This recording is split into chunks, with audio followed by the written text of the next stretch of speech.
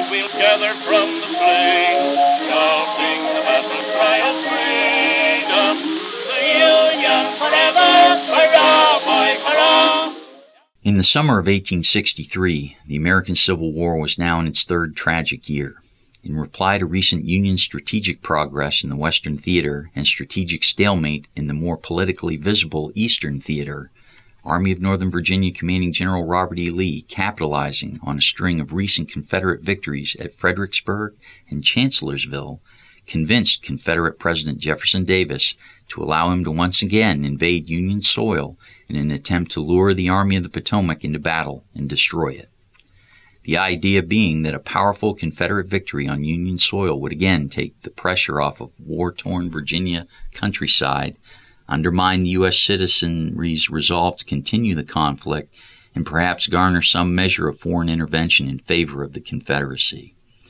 A total of 93,921 Union and 71,699 Confederate forces engaged at the Pennsylvania crossroads town of Gettysburg in what would become the largest and most costly multi day battle of the American Civil War and the largest land battle ever fought on the North American continent. Of the total men engaged in three days of fighting, 51,112 would become casualties, 23,049 for the Union, 28,063 for the Confederacy. From July 1st through July 3rd, the Union Army of the Potomac, under the new leadership of Major General George G. Meade, fought the Confederate Army of Northern Virginia. Day one of the fighting saw Union cavalry forces under Brigadier General John Buford fight a successful delaying action that bought just enough time for Union infantry to arrive and slow the powerful and deliberate Confederate advance from the west and north into Gettysburg. The defensive fight by the Union 1st and 9th Corps enabled follow on Union forces approaching from the south and east to fully occupy the commanding high ground south of the town, atop Culp's Hill, Cemetery Hill, and Cemetery Ridge, to form a formidable defensive line. Day two of the fighting entailed the Army of Northern Virginia arrayed in a line along Seminary Ridge parallel to the Union line, attacking the left and right flanks of the formidable Union position along Cemetery Ridge. Confederate attacks on the Union right flank against Culp's Hill and Cemetery Hill failed in the face of formidable, well engineered Union defensive positions and artillery fires. On the Union left flank, the fighting was equally intense and more dynamic as gaps in the Union defensive line at Little Round Top, the Devil's Den, and the Wheat Field were filled just in time to oppose and thwart the powerful Confederate onslaught.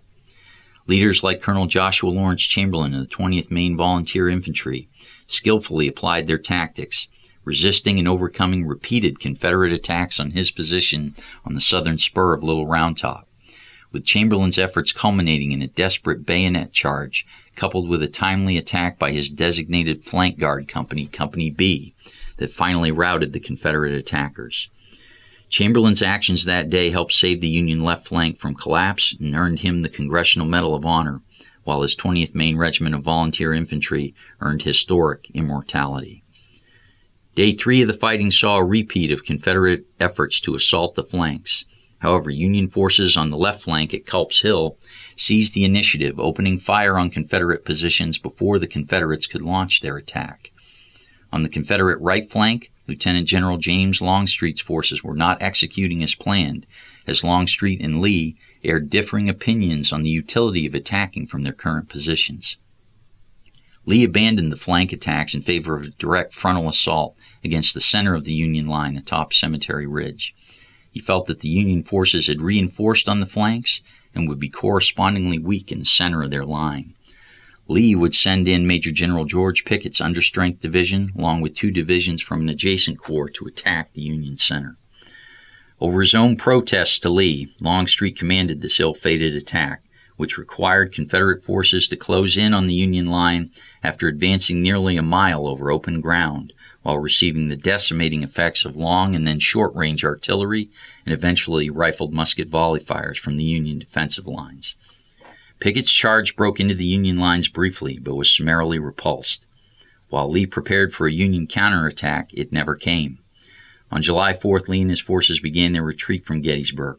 While the Union Army of the Potomac had won a solid tactical victory, Lee's army escaped into Virginia, and the war would go on for two more bloody years.